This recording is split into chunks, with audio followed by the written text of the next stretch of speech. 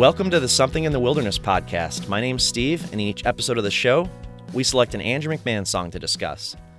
Today, I'm excited to welcome Jake to the show to talk with me about some of Andrew's earliest work to ever be discussed here on the show. There are plenty of songs in the catalog we don't hear nearly as much about, so I thought it was a good time to go back to when Andrew was still a teenager, take a trip back to those early days. Jake, welcome to the show. Thanks. It's uh, it's great to be here. I've been waiting for a podcast like this for a while. Yeah, I would go to the podcast app and type in Andrew McMahon, and I, you know, every now and then there's like a cool interview. But I, I was just thinking, man, there needs to be a podcast for him. Yeah, I appreciate the compliment. I, I really just wanted a podcast that would select a song and talk about each each individual song. So that's that's where I come from with this. So I'm really glad to hear that someone like you is out there listening and, and enjoying that. When did you first become an Andrew McMahon fan? So I was a little late to the game. If this was in the Jack's era, like 2005, mm-hmm. I had heard Dark Blue uh, on the radio and things, and I liked it. Mm-hmm. And my my older brother, he actually uh, had the album. I got a lot of my music from my older brothers. Yeah. I'm I'm 30, but I feel like pop culturally speaking and entertainment wise, I was always like five years older than I really am because I had older siblings. Yeah. Which is interesting because Andrew McMahon has said something similar about his upbringing. But, anyways, the song that really got me hooked isn't the one we're talking about today, but Bruised uh-huh. is the first song where I was like, okay, I really like this. Okay. Cool. And then it was Miss Delaney on, on everything in transit obviously is the album we're talking I'm talking about. Yeah. And then it was just well shoot I like Last Straw a lot too and it, and then next thing you know I was like this whole album is gold. yeah. It was one of the first albums like that for me because there was always one or two songs on an album that I really liked and the rest were okay. So it was, it was a perfect album for you? All time top 5. And then I found out that he was in another band and he was the guy that sang "Woke Up in a Car." Mm-hmm. Another great one. Yeah, and so I was like, "Oh, he's that guy," and that kind of blew my mind.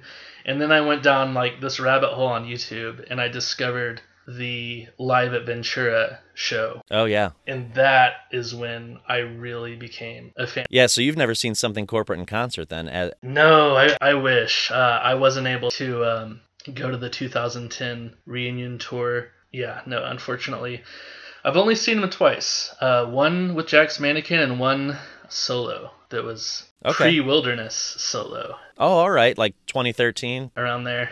Oh, very cool. Have you ever heard of concertarchives.org? No, I haven't. It's a it's a website where you can enter all of your concerts that you've ever been to and it informs me on the anniversary of the day of the concert. So, today I just got a notification that exactly 16 years ago I saw something corporate on their North tour. That's crazy. Yeah. Wow. Yeah, 16 years ago today, January 2005. So I, such a weird coincidence when, we, when, we're getting, you know, we're about to get together and record this, and I get an email saying you saw something corporate in Pontiac, Michigan, at Clutch Cargo's with Straylight Run and Hawthorne Heights 16 years ago. Fascinating. So, thought that was pretty neat. I just missed something corporate. I showed up like right after that was over, unfortunately. yeah, so you said 2005. That's that's the year I saw him, which is crazy to me because it was only seven months later. Summer 2005. So I probably really didn't get into it until like what I just described was probably more 2006. Okay. Yeah. Awesome. So yeah, because you said you heard "Bruised," so that would have been like maybe at, maybe on the radio or uh, maybe you heard it in "Snakes on a Plane" with Samuel Jackson. You know, I think it was on, on that soundtrack. On my blue iPod Nano, I had I didn't have that whole soundtrack, but for whatever reason, I had that album art, The Snakes on a Plane. I don't know why I had that album art because I didn't listen to the rest of that soundtrack. I was already a Jack's Mannequin fan.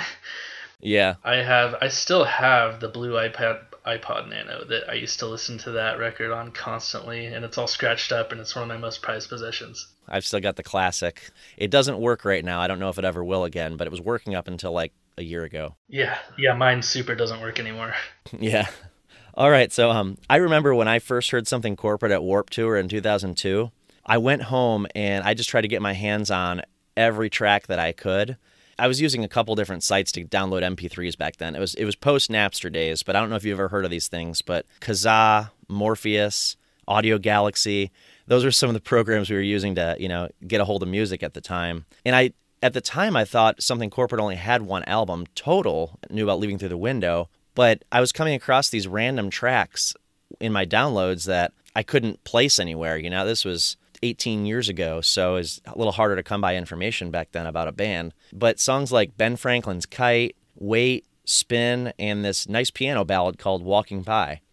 So, alongside songs like Hurricane and Fall, and it was one of the first songs I heard by the band, and I was kind of blown away by how diverse they were. You know, you had these pop punk songs next to these piano ballads, so I thought that was that was pretty neat. But I was all in for for either one. So the band, of course, is something corporate we've mentioned, and um, the first time this song was released was on the Audioboxer EP. It was the final track, track six. It was released on October 2nd, 2001. It was actually something corporate's first official release since their Ready Break album was self released the year before. And this song is unique because it's been featured on three different Something Corporate releases. It was on the Songs for Silent Movies EP, which is a Japanese import of rare songs, alternate versions, and a couple of music videos. And most recently, it was on their Greatest Hits collection, Played in Space, in 2010. How did you first come across this song? Do you remember? Yes, I do. Uh, I came across this song through that Live at Ventura show, through watching that DVD. I say DVD, but I watched it on YouTube. But yeah, that's how right. I discovered this song. And I've always loved I've always loved ballads. I've always loved slow emotional songs. And even though a lot of people my age just liked fast stuff and were like, "Oh, that sounds so sad." I'm like, it's making me happy. I know it sounds sad, but no, yeah, I that live at Ventura show really made me like that that song.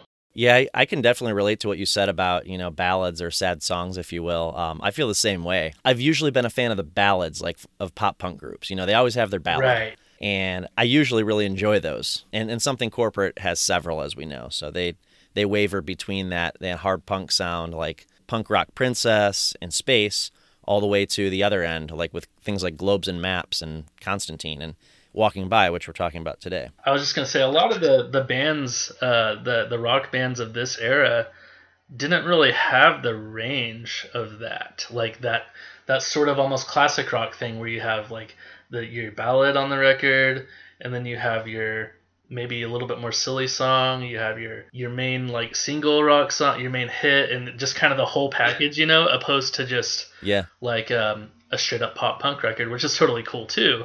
But to to have that like uh-huh. almost kind of old school kind of range really got my attention. Yeah, absolutely. I appreciated that too. So the song was written by Andrew and produced, engineered, and mixed by Jim Wirt. It was recorded at Fourth Street Studios. And playing on the song, we have Andrew on piano and vocals, of course, Kevin Clutch Page on bass, Brian Ireland on drums, and then we have some additional players. Charlie Beishart and Peter Kent play the violins, Darren McCann plays the viola, and Steve Richards plays the cello. The string arrangement was done by Christopher Brady. And as far as I know, there's no guitar on this song, is there? I mean, besides the bass. Yeah, you know, now that you, I've never thought about that, but now that you mention it, I, I, I, that might be true. In fact, it was the Live at the Ventura that I went back and watched to make me realize that there's a bass guitar on it because Kevin Page is playing bass during the song. And when I went back uh, and listened to the song, the album version again, I was like, yeah, there is a bass in there, but I can't find any guitar. And then I also found this other live video online uh, that I'll mention again later um, when we talk about different versions, but that also just had the drummer, the bassist, and Andrew playing didn't have the two guitarists in it. So that's what kind of led me to believe I don't think there's any guitar on it anywhere. Interesting. Yeah, it, it's yeah. cool how um, you know it works on multiple levels because live he doesn't have the strings with him and so it just right. kind of falls back to the piano and it's just this really stripped down version of his songs with him and the piano that really works on a basic level yeah i was looking at setlist fm and the song's been played 36 times according to Setlist FM anyway, and less than half of them were actually performed by the Something corporate lineup. But I'm pretty sure that list is incomplete because a lot I noticed a lot of Something Corporate's early tour days aren't on Setlist FM. But you're right, there wouldn't be any strings on any Something Corporate tour. So there's a couple of songs I've now noticed that have strings on them that I guess they just couldn't play the full ver- version of in concert. But according to the Live at the Ventura DVD, they just played it with the, the piano and a little bit of drums and bass. on Setlist FM, I found that he was playing it just over a year ago on the Winter in the Wilderness tour. And that would have been a great time to see Andrew, in my opinion, because he was playing Walking By at almost every show. He was playing Lights and Buzz, Cavanaugh Park, She Paints Me Blue. So, like a lot of those classic early something corporate songs and, and a little bit of Jack's Mannequin in there, too. So, when you said you've seen Andrew twice, have you seen the song perform live then? I have not seen this song performed live. No, neither have I. When I saw Jack's Mannequin February 2010, he didn't play any something corporate songs, which I would have loved, but I I wasn't complaining. It was an amazing show. Mm-hmm. Which, by the way, side note, that was the Sing for Your Supper tour with Vedera and a very young Fun. Oh wow, okay. They they had just kind of started. Yeah. But yeah, and then so when, later in 2013, he he played two something corporate songs, "Ruthless," which is another one of my all-time favorites. Yeah, that's a great song. and song. Constantine. Wow, he actually played Constantine. Huh? Yeah. That's that's pretty rare. Right. And uh, I and I love Constantine, and that was like a bucket list thing. But like I always, you know, leading up to this, whenever I would read YouTube comments or like watch footage of live shows, and people would yell out Constantine when he didn't want to play it, and I, that's when I Uh-huh. kind of started to realize like this song "Walking By" is kind of underrated because I was like, well, hey, I mean, there's another really good slow kind of song that's romantic and nostalgic that's like just as good, only it's not like 11 minutes long. Yeah, you know, I agree with you, and I'm I'm I'm surprised that it doesn't get the attention that Constantine gets. You're wow, I never thought of it that And way. And then, you know, Constantine kind of got this novelty because he didn't want to play it and because it was so long, yeah, which is. If you ever do an episode about that song, I'll, I'll be fascinated with that. Yeah. That'll be fun. So this song "Walking By" was uh, most recently played on Andrew's April first, 2020 Instagram Live event, and he called it the B-side Bonanza. Did you catch that one? I did, yes. By the way, those are great. You know, it was such a weird time. The pandemic was very new. And then he put on these free. A lot of people didn't do this. The, these, like, free, just Yeah. like intimate, like hour long chats slash concerts. So it would just be like this intimate group of like 200 to 300 people just Yeah. talking with Andrew. And um, I think I've even gotten him to answer some of my questions on some of those, but it was great. Oh, that's so cool. It was a chance to feel connected to an artist we really enjoy in a time when connection was so rare. Right. Yeah, and it's kind of a treat when you're you're such a diehard fan of somebody who's a little bit more under the radar. Mm-hmm. I was trying to explain this to my dad, who's fans with of you know so many classic rock. He's seen like Paul McCartney in concert and and all these Uh-huh. amazing bands. And I was trying to explain to him like how when I saw Andrew McMahon in 2013 at this really tiny room in uh, Salt Lake City called In the Venue. I was like, this place was so small, Dad. I was right there. You know, Yeah. it's such a treat to be able to have an intimate setting like that. Um, and I've heard of bands like U2 having like a a secret show where it's that size, and like people are just blown away because it's so rare to get that with somebody as famous as them. Oh, what I was gonna say is, um, Andrew got a little bit of flack for that B-side Bonanza title because most of the songs he played weren't even B-sides. I mean, I, I guess if you want to put a label on it, maybe maybe he could have called it deep cuts. But it was I just remember that being kind of funny. People are like B-sides. He played "I Woke Up in a Car." Yeah, I was kind of just like, you know what, Andrew, just play whatever you want. I don't care. I kept track of which songs he played in those, and and now I'll still like see songs on my list that I'm like he never played that one, so I'm still hoping he's gonna come back and play the other like 25 songs that he never played, but I don't know if that's gonna happen at this point. yeah, we'll see. Um, that'd be cool. I would definitely be down for that. be on the lookout for that for sure. So did you know that Andrew wrote the song when he was 18? Yes. Yeah. I was I, I found that there's a really old acoustic kind of him and the piano version of this song on YouTube that I found. It kind of blew my mind because I have a, a nephew that age now. And I was like, that's he's Ethan's age. it kind of just blew my mind. Writing these prolific songs that thousands of people adore. Yeah, it's it is pretty amazing that an 18-year-old pulled that off. He said he wrote it and he talked about this in the live stream. He said he wrote it right after something corporate signed on for that record deal. And at the time, he and his friends and his sister Katie were all hanging out a lot. And it was a really exciting time for them because they just didn't know what was going to happen with, with the record they were going to release, if they'd have success or not. And there was this other girl named Kelly Hanch Right. that would be hanging out with them sometimes too. She was a friend of, uh, of Katie's, his sister. And Andrew was interested in asking Kelly out, but he was nervous. She just viewed him as uh, her friend's brother, so he was a little hesitant. But apparently, the first time he ever played the song for somebody was over the phone to Kelly's sister, and he was hoping that she would tell Kelly, and Kelly would be impressed that hey, Andrew wrote this song for you about you and for you. So it took some convincing, he said, but eventually she came around and dated him. So Walking By was actually the first song that Andrew ever wrote for Kelly, and as we know, he's written several more by this point, you know, nowadays. But Yeah, I so I, I went kind of digging through different live versions of this song to hopefully Mhm. find and interviews, but I was trying to find anything I could, and I didn't find your version of that story, but I found a live video from the 2010 something corporate reunion where he actually tells kind of that same story. I actually have it written here. oh, cool! I'd love to hear it. I will go ahead and read that. He said um, in introduction to the song, and I quote, "In the middle of making this record, I met this lady, and I was really, um I was trying to hook up with her. Was kind of the deal, but she wasn't interested at first. And I called these guys, you know, waving to the band. We had pretty much finished the EP at that point, and we had a couple days to finish it. And I was like, "You guys, uh, I've written this really cool song." and I really need to get this chick. Will you please help me get it on the record? That's hilarious. and being the hopeless romantics they are, they helped me in my quest. And later I ended up marrying that girl. Oh, so the first time she heard it allegedly was on the CD, and that was that was him impressing her. Yeah, I mean, I would be impressed. Yeah, I would too. That's that's pretty wow. So that's that's awesome. Thank you for sharing that. Yeah, I did not find that one. yeah, I, I had to do some digging, which is kind of fun. Like, you know, hmm It is. but it kind of makes it interesting because, especially with his older songs, where the internet wasn't what it is today, and it kind of is. Mhm. It's almost like a throwback to like back in the day where you didn't know everything about your favorite artists and you didn't know what all the songs were about, and it was kind of left some things up to the imagination. Yeah. So that's kind of uh, that's kind of a, a still a thing with um, with him and with some of these older songs, uh, especially.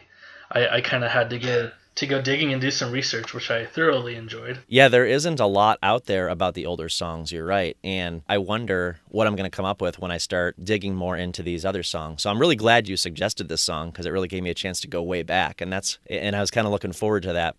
Until I found that story, the only thing I really had to go off of was this YouTube comment that I saw a long time ago of somebody in one of the videos on YouTube that said uh, I, that they met Andrew and told them they liked this song, and that Andrew said, "Thank you, it helped me get my misses." so for a long time, I, I, I knew that he, he that's part of him wooing Kelly, but I didn't have the details. Well, your story helps me understand what I want to talk about next, and that's the sound of the song. It's so different than anything else that was on that EP. But now I see from what you said, they had five songs laid down on the EP, recorded, ready to go. And he came in with the sixth one. He was like, I got to record this song.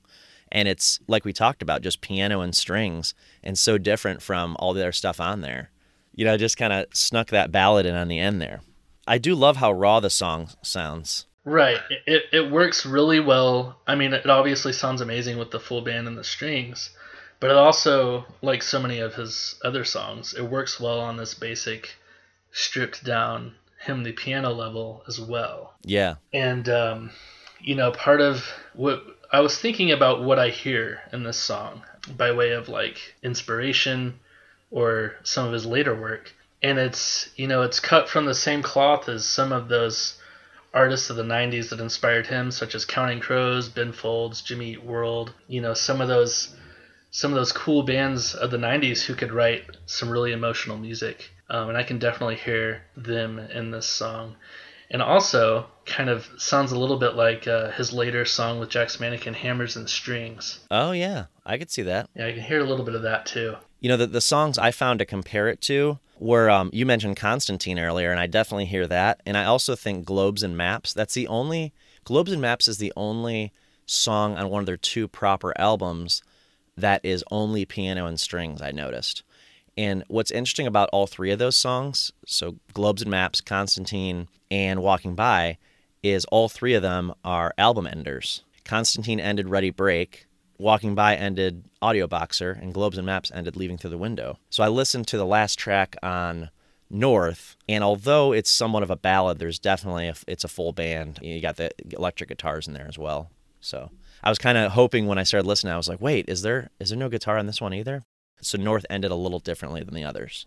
But the the sound of the song in general, like I said, when I was downloading all those tracks on you know Morpheus or Audiogalaxy back in 2002, I was coming up with a lot of these light acoustic ballads, and so this song reminds me of that time in my life. You know, like whereas he doesn't make too much music nowadays that's just him and a piano and strings so yeah i feel like even though a lot of his later music you don't really hear that in the studio you don't really hear those like bare bones him and a piano type songs as much in a studio setting there's plenty of like live performances and like sessions on youtube where it is just like him and a piano and a guitar and it's it's just cool to see that his his songs are good enough to work on that level. Yeah. You know, even some of his poppier sounding stuff that's really synthy, he can bring it back to the piano and, and have it be like almost better that way.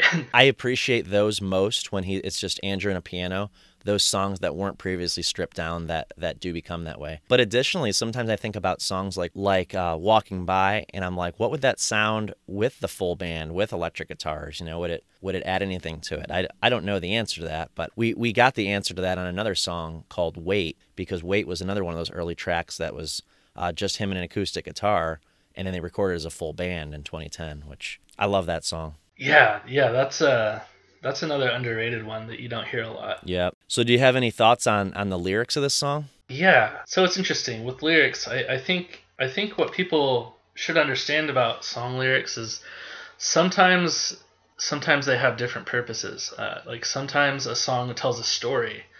Um, sometimes song lyrics are more of a puzzle to be figured out. Sometimes they're just meant to be enjoyed, mm-hmm. almost like an abstract painting. I feel like a lot of Andrew's lyrics are ambiguous and mysterious. Sometimes there's more of a clear message, sometimes there isn't. Um, and sometimes he has sort of like this, almost like this Bob Dylan thing, where it's like, what's this about, you know? Mm-hmm. Yeah. And so it's a treat when you when you hear an artist like that talk about what the song is about. But also, even when you're not sure, you can still have like a lyric that sounds that just kind of sticks with you for some reason. I, I lived in Michigan for a couple years I don't think I really had seasonal depression quite, but it did have an effect on me. And it's crazy how you can miss the sun. Like, you can miss seeing the sky so much. like, you don't know how important that is until, like, you don't have it. And I'm sure in, in Ohio, maybe you can relate. I can definitely relate to that. In fact, uh, another thing we have in common is that I lived in Michigan for part of my life as well. Actually, the majority of it. I, I grew up in Michigan. Oh, that's awesome. But yeah, so when I was in Michigan, I kept thinking of that lyric on that one sunny day that winter gave up. Because sometimes in the dead of winter, there would be this one glorious day where it was sunny or where it was kind of warm. Yeah. Or you see like a patch of blue sky and you're like, it's the sky, the sky's blue. and you're yeah. just so happy. So eh, you know, just little things like that that just stick with you is is always fun. Yeah, that's a cool one. I really like the story he tells in the in the verses too, and he says lines in the first verse like "Your granddad left home for the circus, he married a girl in Virginia, and then later on, your mother was born in December." It's like he's telling the history of her life through these lyrics. In the, but then the second verse goes into these lines: "She was raised in a New England village." Kind of like picking up where the first verse left off. Yeah. Then she moved to LA with her firefly stare, and you loved Sunset Strip when it sparkled.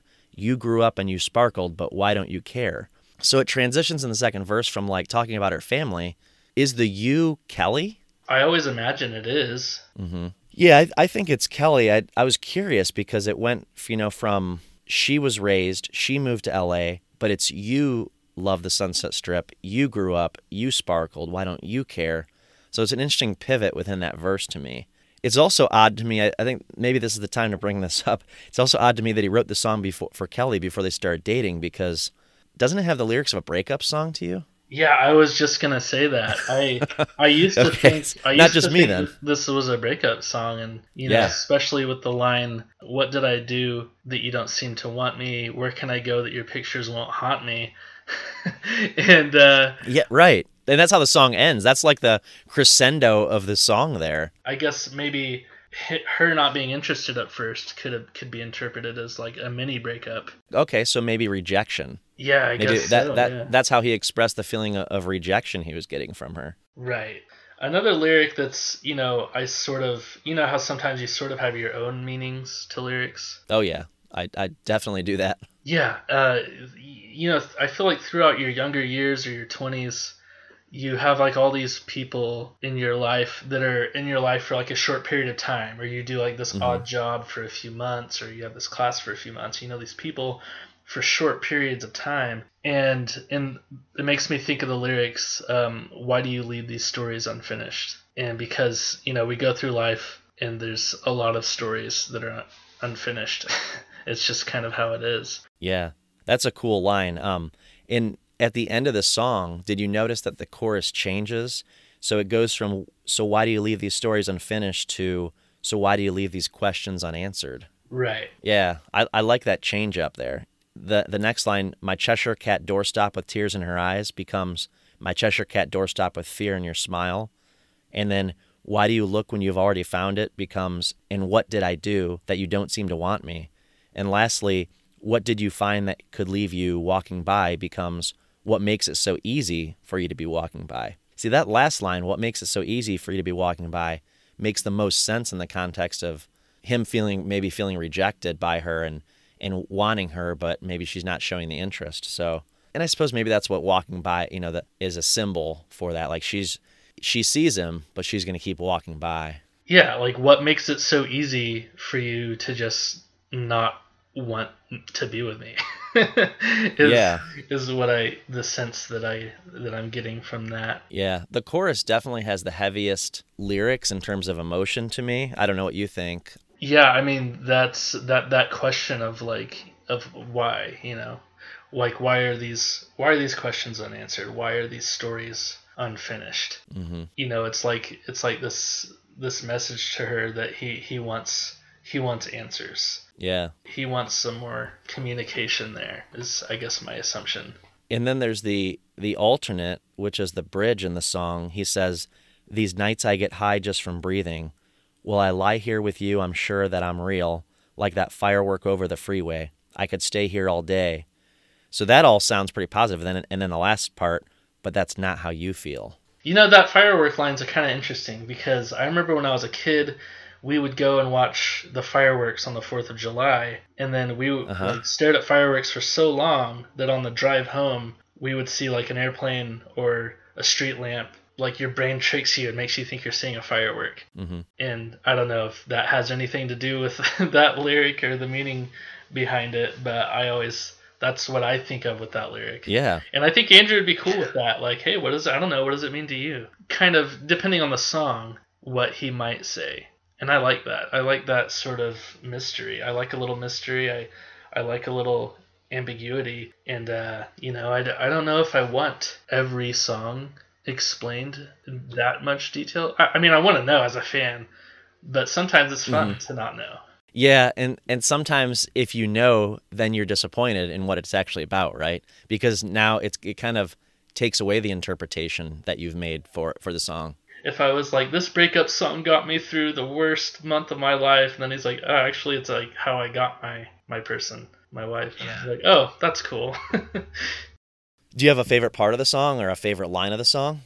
I you know I, I think just musically I, I think that I love when strings are used in a in a song like this.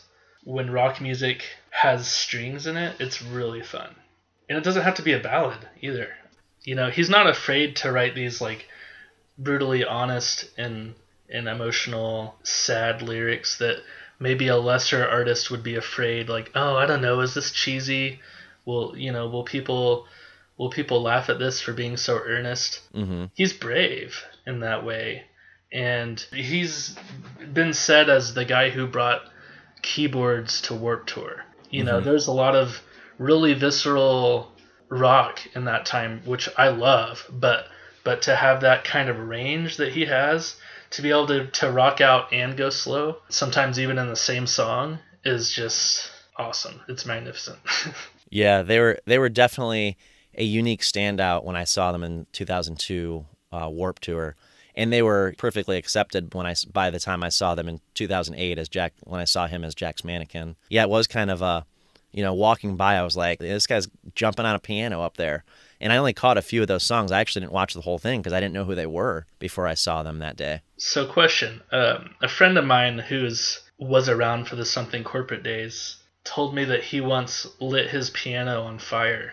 Have Have you ever witnessed that? No, I haven't. But um, let's see. The only two times I saw something corporate, one was at the Warped Tour, where they had, you know, ex- as you know, they have exactly 30 minutes to play, you know, six or whatever songs. And then the other time was at an indoor venue. So I don't think that would have gone well. right. But I, I I've never heard that before. That's crazy. I It must not have happened very often, but I guess it happened that that one time. but you Yeah. know, I'll just let it be legend. I've seen him jump on the keys and then jump and then dive off the piano onto the stage. Oh yeah, for sure, all the time. Yeah, I mean that's kind of that's kind of standard of his, but Yeah, gotta love that. like the uh you know the grunge guys of the 90s would smash their guitars andrew would bang on his piano and then jump on his piano and then jump off I almost feel like that's a statement. Like, oh, you don't think pianos are are are rock and roll? yeah I'll show you. You know. yeah and he and he took a cue that cue from some of his idols like billy joel and elton john you know like oh yeah.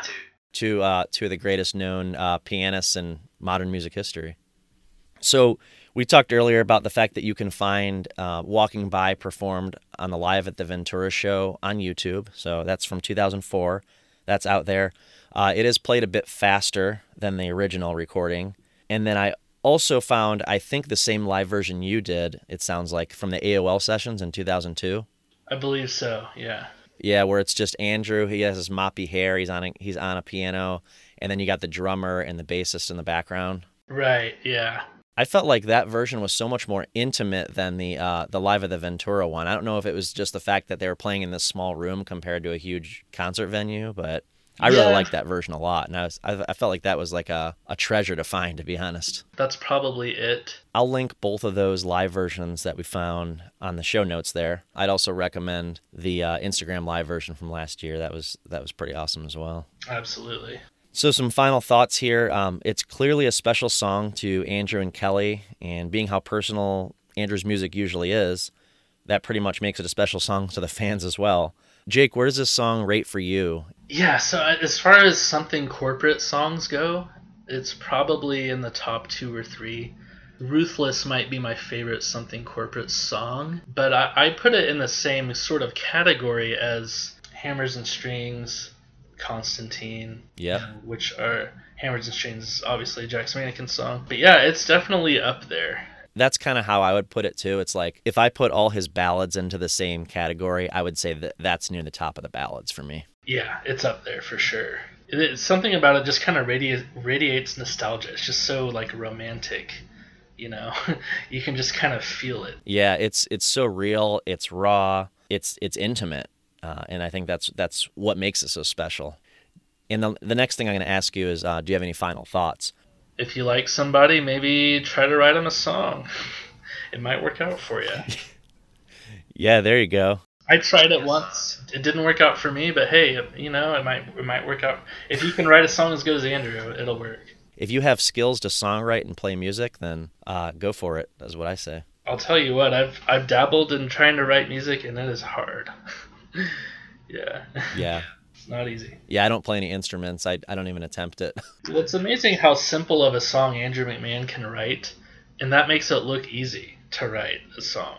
But if Uh-huh. anything, I feel like it's harder to make a song that just works on that basic of a level, to where it's one guy and a piano, but sounds like there's so much more happening than there is. yeah, that's how I feel about most of his music. Well, thank you guys again for listening. Be sure to subscribe and rate the podcast so more people can find it, and post a comment on one of our socials. I'd love to hear your feedback. And if you'd like to message me directly, email somethinginthewilderness at gmail.com. Huge thank you to Jake for coming on the show and discussing this song with me. Thank you so much, Jake. Thank you. Yeah, where can we find you online, by the way? I am on Instagram uh, at Jake's Mannequin, and um, I'm on Twitter at Jake0790. Cool. And then you said you were telling me that you have a podcast out there, right? Yes, I do. I haven't I haven't uploaded in a while, but I have a podcast called The Jet. It's uh, Jake's Entertainment Talk, and it's um, pretty much all things entertainment, uh, movies, music, movie news. It's very it's pretty broad category there, but yeah, it's uh, it's called The Jet. You can find it on Spotify or Apple Music. Well, cool. I'll definitely be checking it out, and if if you ever reboot it and, and want someone to uh, guest on it, I'd be glad to. Yeah, I, I might just I might just take you up on that. Also, another podcast I want to plug is uh, my my older brother Adam has him and his friend Mike have a podcast about the 90s, uh, about mostly 90s music and 90s rock and uh, all things 90s called 1990 What. And you can find that pretty much anywhere you can find a podcast. Well, I'll definitely be checking that out too because I, I love my 90s music. And that's, for me, that's kind of where the passion started for music. So. Well, again, thanks, Jake, for coming. It was a lot of fun. I really enjoyed discussing this song with you. You definitely have a passion for discussing music, and I really appreciate that. Absolutely. Anytime. we'll see you next time.